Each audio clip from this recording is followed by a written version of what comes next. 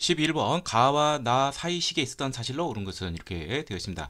자, 거란에서 사신을 파견하여 낙타 50피를 보냈는데 왕은 아, 거란이 일찍이 에, 발해와 지속적으로 화목하다가 갑자기 어, 명예가 걸리고 뭐, 어, 멸망시켰다. 그래서 이 사람은 아, 사신을 유배 보내고 낙타는 만부교 아래 메어 두어 굶겨 죽였다. 이게 그 유명한 그 만부교 사건이죠. 고려 태조 어, 있었던 일이죠. 예. 자, 근데 양규가 홍화진으로 이렇게 어, 활약을 했어요. 백성들을 구하고 양규의 선전, 거란의 2차 침입이죠.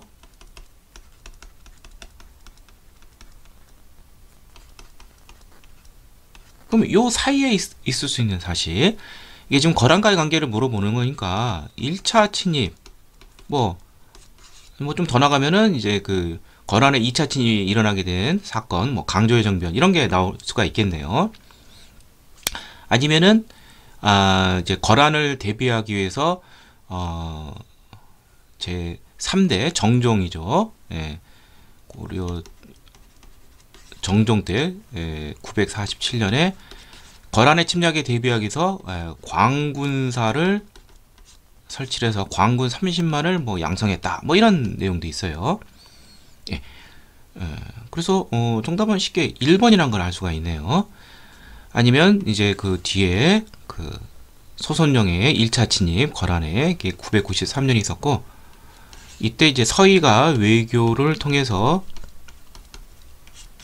그 이듬해 오히려 강동 육주를 확보하게 되었죠. 뭐 이런 거는 또 올 수가 있습니다.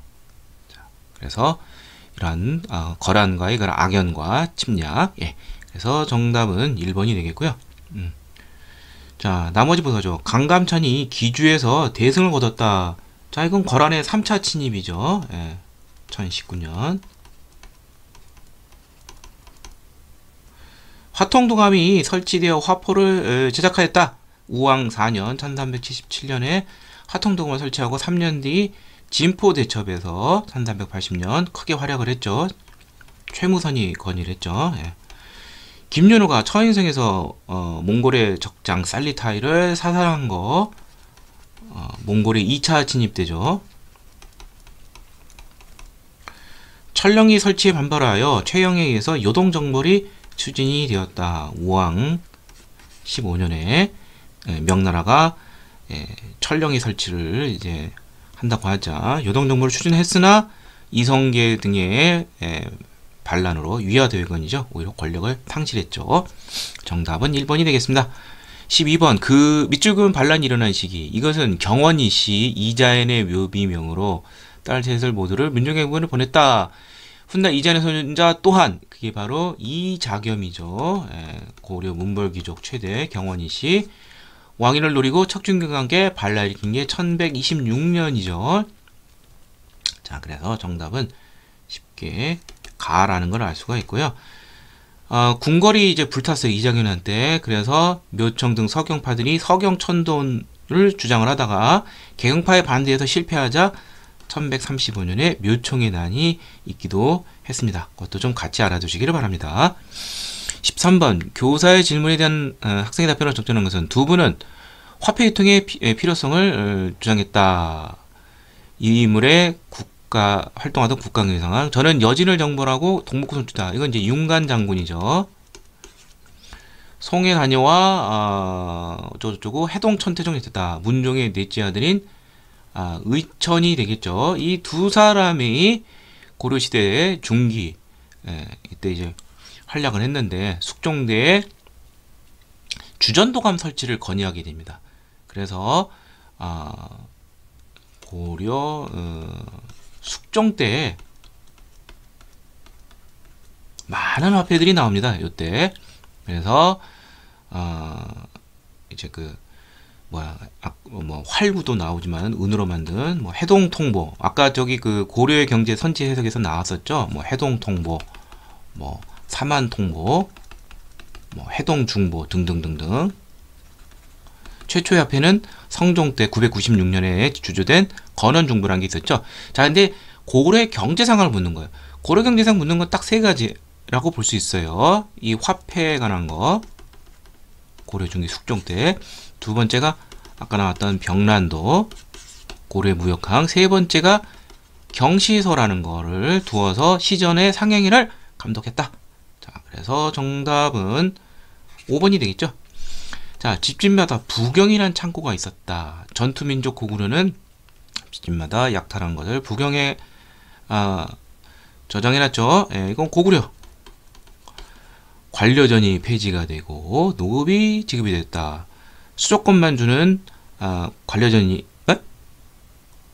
어, 선지가 좀 이상하네요. 예, 관료전이 폐지가 되고 노급이 지급이 되었다. 이건 이제 섞어서 난 문제네요. 자, 이거는 이제 정식 명칭은 어, 신라 어, 중대 신문왕 때 음, 이제 그 신문왕 때 에, 신문왕 7년에 수조권만 주는 관료전을 지급을 하고 2년 뒤에는 어, 수조권과 노동력 징발할 수 있는 노급을 폐지를 했어요. 그런데 아, 경동왕 때 인 이제 귀족들의 반발로 인해서 어, 노급이 부활했다고 되어 있습니다. 노급이 부활했다는 건 관료전을 폐지했다는 것이죠. 아무튼 뭐 통일 신락이란 걸 우리가 알 수가 있고요. 해당이 안 되고 상평 통보가 발행이 되어 버렸다. 이건 조선 후기에 대표적인 화폐죠. 널리 유통이 됐죠. 당항성, 영암 등이 국제 무역항으로 어, 완성했다. 이것도 역시 에, 통일신라기입니다. 왜냐하면은 영암은 저쪽 전라도 지역인데 어, 신라가 삼국을 통일하기 전에 여기에 영향을 줄 수가 없었죠. 그러나 통일 후에는 영암도 국제 무역항으로 번성했습니다. 그래서 통일신라기는 세 가지 항국, 경주에서 가까운 울산항, 당항성, 경기도 화성 쪽이죠. 그 다음에 전라남도 영암 요 세 군데 알아두시기를 바랍니다. 14번 가 인물의 활동으로 오른 것은 고려 고종의 능인 홍릉이 강화도에 있다. 고려 고종 때 몽골의 침략이 대부분 있었죠. 이때 자 몽골의 침략한 실권자였던 누구누구가 항전을 해서 강화천도를 간행해서 고종이 이곳에서 승하했기 때문이다. 예. 고종이 이렇게 이제 제위를 했는데 예. 그 아들 원종 때는 이제 개경으로 환도했기 때문에 어, 강화도에 능을 두지는 않지만 고종은 요 시대 여기서 어, 죽었기 때문에 강화도에서 음, 어, 등이 있게 된 것입니다. 그러면 그 최우에 대해서 물은 것이죠. 어, 예, 최우 때 이제 그 몽골의 침략이 있었는데 자 이거는 최씨 무신 정권의 권력 기구랑 같이 알아두면 좋습니다. 아버지 최충원은 어, 이 의민을 1196년 축출하고 에, 집권을 하면서 먼저 이제 도방을 부활시키고 그 다음에 정적을 축출하기 위해서 교종동감이라는 권력기구를 두었습니다. 최후는 여기서 한술 더 떠서 인사권을 자기 집에서 행사했죠. 정방이라는 걸 설치하고 문신들을 자기를 어, 자묵해 하는 서방이라는 걸 또 두고요. 그 다음에 사병을 하나 더 큰 걸 둡니다. 바로 삼별초를 어, 두었습니다. 자, 그래서 어, 정답은 바로 1번이 되겠죠. 인사행정 담당 기구로 정방을 설치했다. 예. 자, 나머지 보도록 하죠. 봉사 10조로 해서 시정 계획을 건의한 사람은 최충원이 예. 이 의미를 몰아낸 직후 아, 명종에게 당시 건의를 그냥 쇼를 한 거죠. 예. 자, 그 다음에 삼별초를 이끌고 진도 용장성에서 항전하였다. 개경 환도 이후에 이제 그 삼별초들이 예, 이를 따르지 않고 항쟁을 했는데 강화도에서 진도로 옮겨갑니다. 이때 인물은 배중손이죠. 배중손이 죽은 다음에 김통종은 제주도로 가서 항파들이 예, 항쟁을 계속했다가 결국 천, 에, 1270년부터 1273년까지 있었는데 이때 여몽연합군에서 진압이 되죠. 군사를 일으켜 정중부 등의 제거를 도모했다. 자, 최초의 무신 정권 지배자는 이 의방이라고 보십니다. 물론 뭐 정중부도 있지만 그러다가 정중부가 이 의면을 이방을 제거하고 권력을 장악하고 경대승이 정중부를 제거하고 그 다음에 경대승이 죽자 이 의면이 집권했는데 이 의면을 제거하고 최충환이 집권한 것이죠. 자, 그 다음에 전민 변정도감의 책임자로 임명이 되어 공민왕 때 권문 세족을 견제한 사람은 승려 출신 신돈이 되겠죠. 예, 정답은 1번이 되겠습니다. 15번 다음 대화 이후에 전개된 사실을 온 것은 원의 공주와 혼인한 태자께서 돌아와 왕이 되신 걸 알고 있는가. 이전에 변벌과 호박처럼 돌아오신 것을 보고 눈물을 흘렸다네. 나도 그랬다네. 그나저나 며칠 앞으로 다가온 1번 원정이 더 크군. 자, 이제 그 원 간섭기 때의 모습을 이제 물어보는 것이죠. 예. 아, 이제 그 사실상 원 간섭기의 첫 왕이 바로 충렬왕인데 충렬왕이 예, 명나라 아 원나라 제국대장 공주와 혼인을 하게 되고 이후 어, 고려 왕들은 원에 가서 부마가 돼서 돌아온 것이죠. 변발 호보. 예. 그리고 음, 일본 원정 을 위해서 동쪽을 정벌하니까 정동행성이라는 것을 두기도 했는데 일본 원정이 실패했는데도 원의 간섭기구로 내정을 간섭을 했습니다. 자 그러면은 어, 대략 어, 충렬왕이 1274년에 에, 즉위를 해서 뭐 쭉 그 이후를 찾으면 되겠죠. 예, 원 간섭기. 자, 빈민 구제를 위한 흑창이 처음 설치됐다. 이건 이제 고려 태조 때입니다. 춘대 춘납의 그런 빈민 구제 기구이죠. 아. 고려 태조. 이때 제위를 했고요.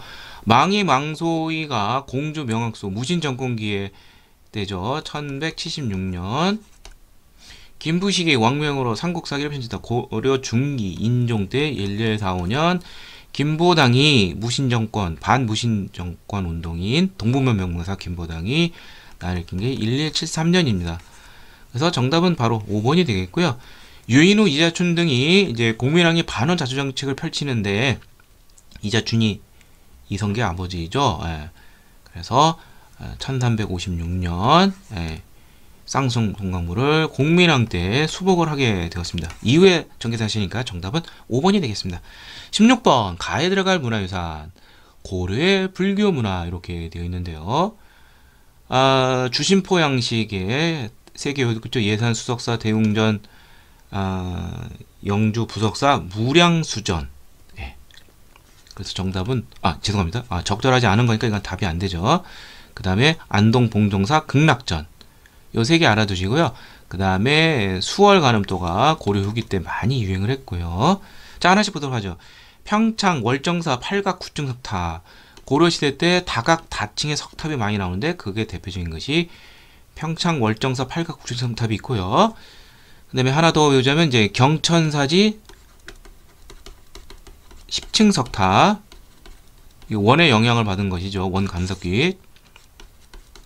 충무강 때 지어진 것이죠. 논산 관척사 석조 미륵보설 이상 이런 대형 석불 등이 또 많이 납니다. 고려 초기에 이거 외에도 안동 어, 이천동 석불 그 다음에 용미리 예, 마애 석불 이렇게 대형 석불 등이 나오고요. 그 다음에 원주 법천사지 지광국사 탑비 어, 고려시대 나말 에, 신라말부터 이제 선종 유행에서 승탑 탑이 유행하고 거기에 고승들의 내력을 적은 탑비를 또 같이 적어놓죠. 자, 정답은 바로 4번이 되는데요. 보은 법조사 팔상전은 어, 이제 17세기, 그러니까 조선 후기가 되죠.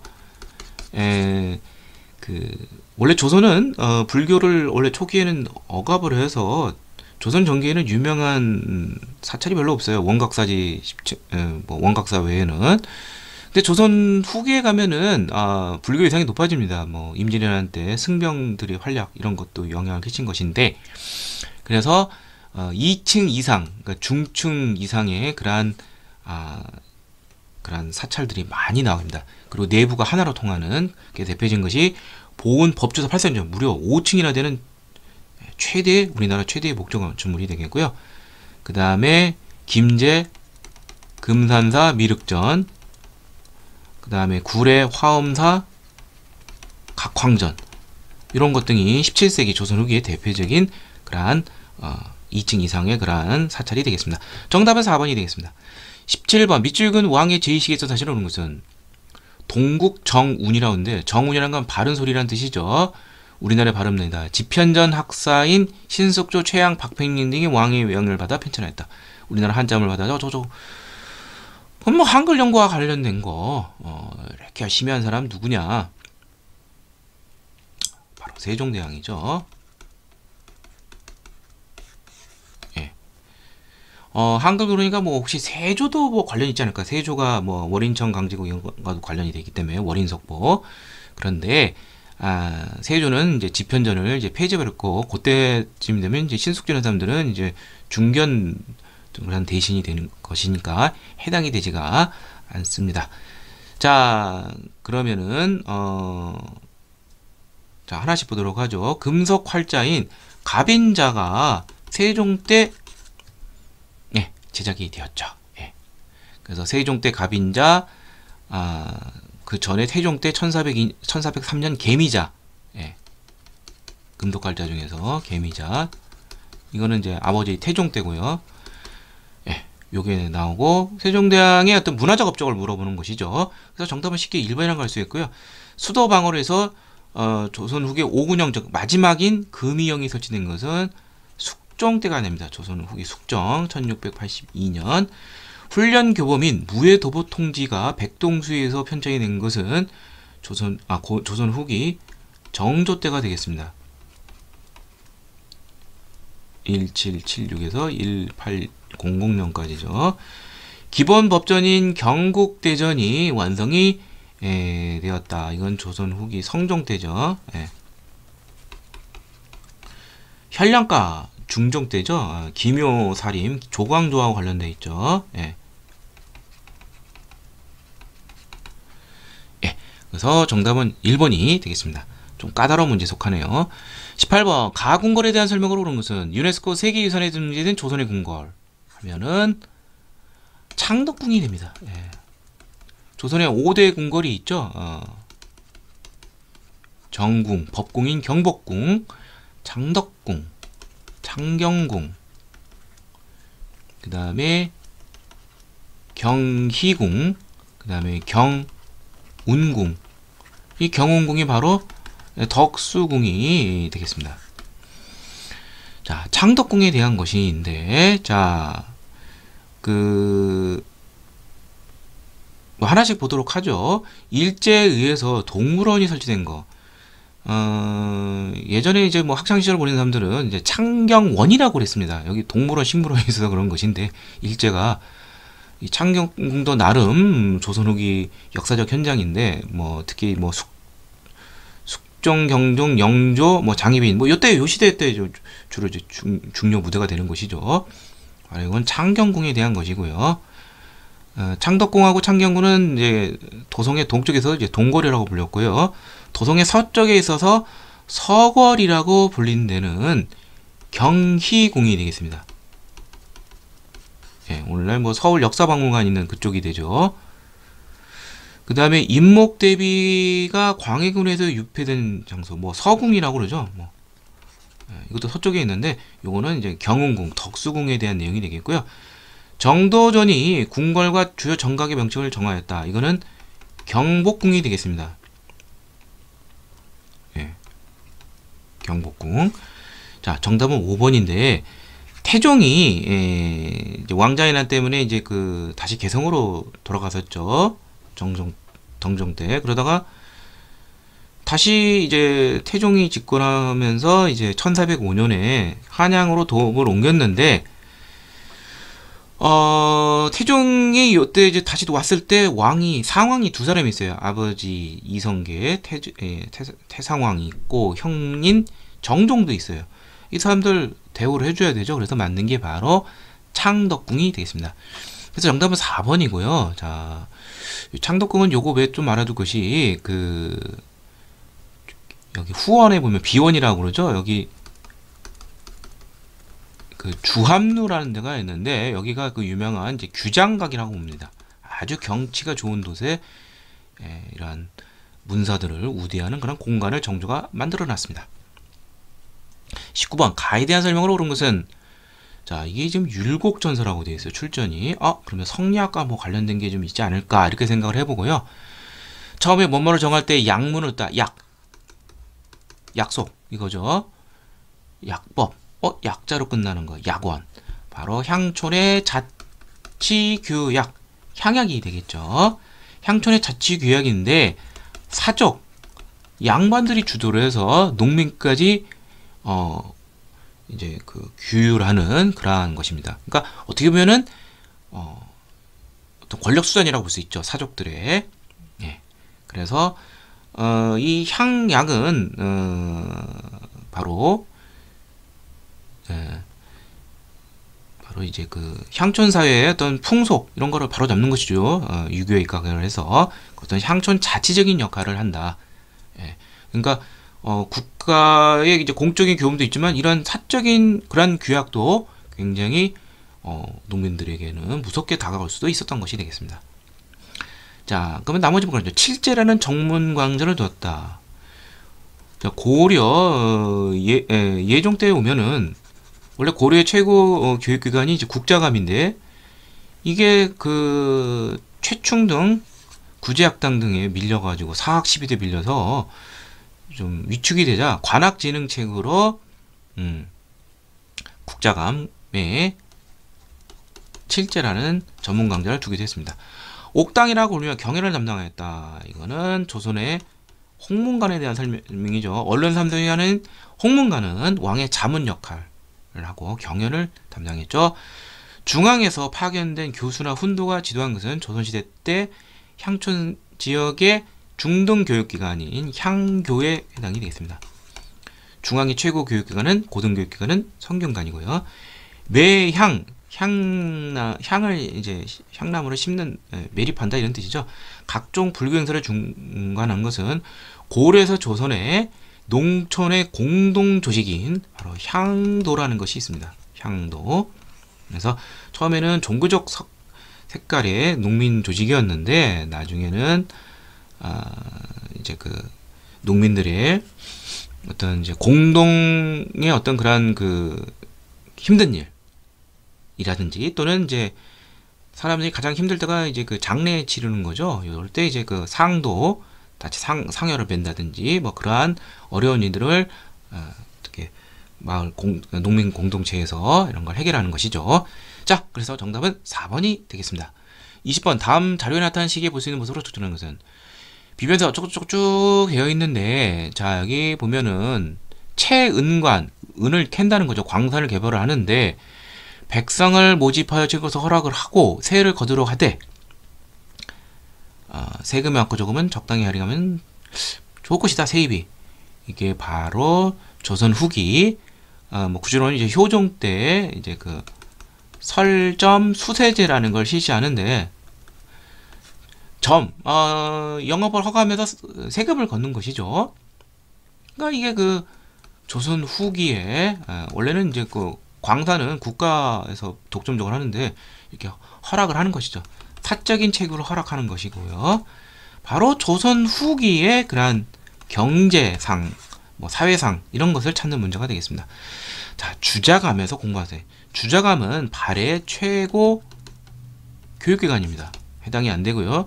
초조 대장경 조판을 지켜보는 승려. 고려 어 이제 그 초기에 이제 그 거란의 침략이 있었죠. 그래서 음, 현종 때부터 시작을 해서 어,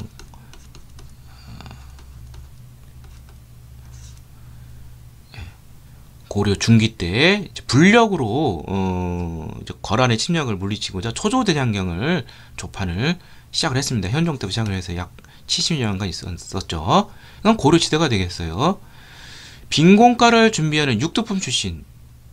자, 빈공과 당의 외국인 전형 과거 시험이죠. 육두품만 해도 이거 신라라는 걸 알 수 있죠. 네, 통일신라.